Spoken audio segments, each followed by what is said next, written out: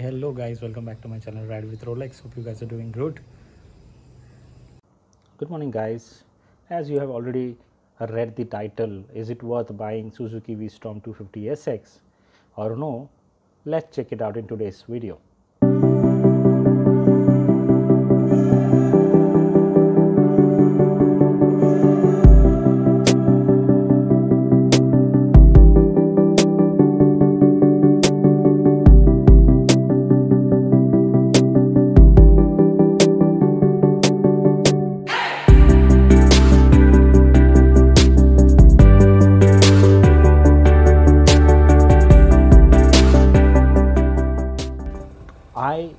a KTM 200 owner earlier, a second-hand bike, um, and really I thoroughly enjoyed that bike a lot. Um, I used to travel with it uh, to my office, and I was really having fun because of its torque and power. Later, uh, because of some maintenance issue uh, it gave me, um, I did not felt like uh, repairing it again and again um, so I thought let's uh, sell it out and that was a corona period as well.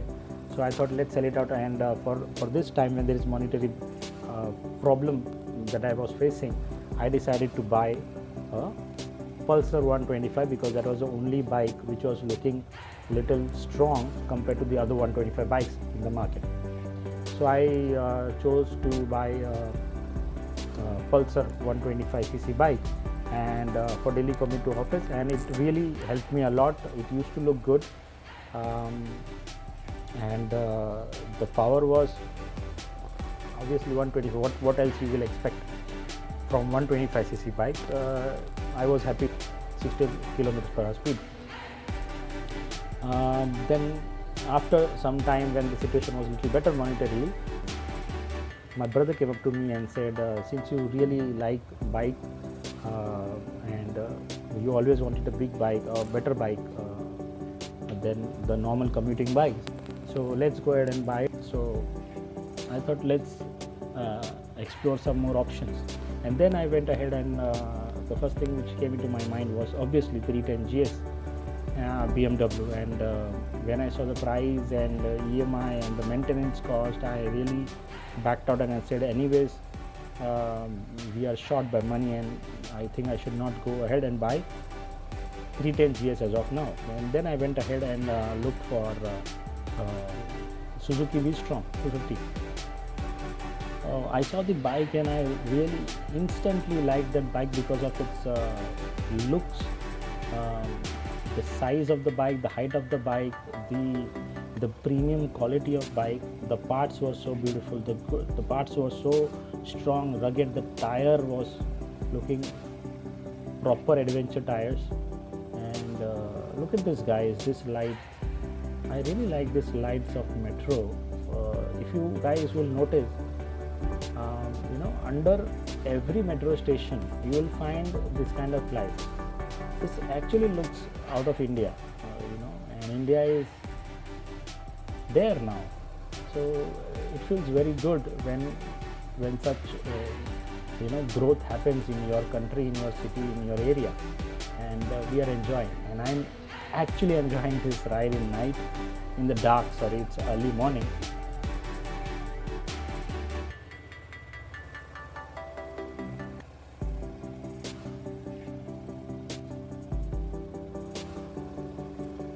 oh this is let's let's i'll just show you guys uh, this is the only place which i know that is open throughout 24 hours. So you can anytime come and have here you get good food you get shawarma you get all chicken uh, items and uh, you also get a very good tea opposite to, opposite to that there is a, dosa corner you can also have that. Uh, it's a very good place and you can anytime come and visit and uh, have food uh, whenever you think so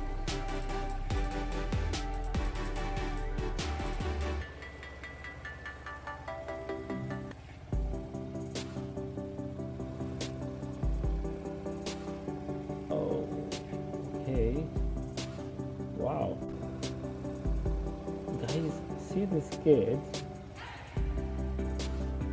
they are doing skating road skating. I, I really appreciate these parents who support their kids to do something in sports. I think uh, all the parents should help their kids to do to play some sport. This help them physically to being strong and also this helps to uh, you know make you mentally strong whenever you face any challenge in life not only in sport but also in your personal life in the real world. So i really appreciate see these guys are these guys are actually are were actually on the speed of 30 30 speed you know. Um, really appreciate see